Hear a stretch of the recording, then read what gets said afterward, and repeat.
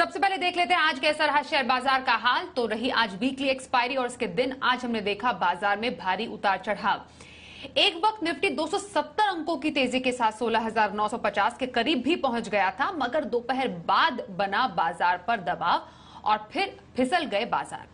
Nifty intraday में दो सौ पैंसठ अंक फिसला सेंसेक्स साढ़े आठ पॉइंट से ज़्यादा टूटा और आखिर में निफ्टी सिर्फ़ पाँच अंक की बढ़त के साथ 16,700 के नीचे बंद हुआ तो सेंसेक्स में 33 अंकों की मामूली बढ़त नज़र आई।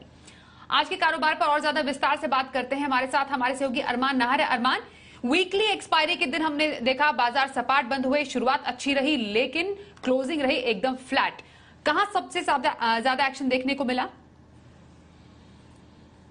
हमारे बाज़ार ने आज शुरुआत तो काफ़ी अच्छी करी।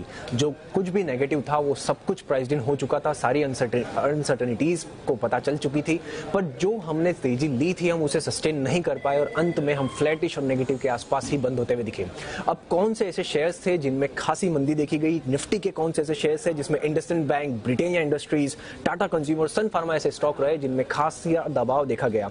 वहीं अगर दूसरे लूजर्स की बात करी जाए तो उसमें Angel One Borosil renewable Intellect Design और कैनफिन होम्स ऐसे रहे जिन पर अच्छा खासा प्रेशर देखा गया। अब कौन से स्टॉक्स थे जो फोकस में थे? एबीबी और मेट्रो मनी रिज़ल्ट के चलते फोकस में रहे। प्रीवी स्पेशलिटी केमिकल जो हमारी एक्सक्लूसिव स्टोरी थी और दीपक नाइट्राइट भी अच्छे खासे फोकस में रहे। अब अगर टॉप निफ्टी गेनर्स की बात करी जाए तो टॉप निफ्टी गेनर्स में Tech Mahindra Hero Moto Infosys H Tech IT sector ने अच्छा खासा सपोर्ट करा और इसी के कारण जो आपको मेजर निफ्टी गेनर्स दिख रहे हैं, उसमें आपको H Tech Infosys Tech Mahindra दिख रहे हैं और हीरो मोटो कॉप ने भी अच्छा खासा गेन दिखाया। अब दूसरे गेनर्स की बात करी जाए, जो निफ्टी गेनर्स के अलावा हैं, उसमें Hikal, K P R Mills, Varroc engineering और सीमेंस थे।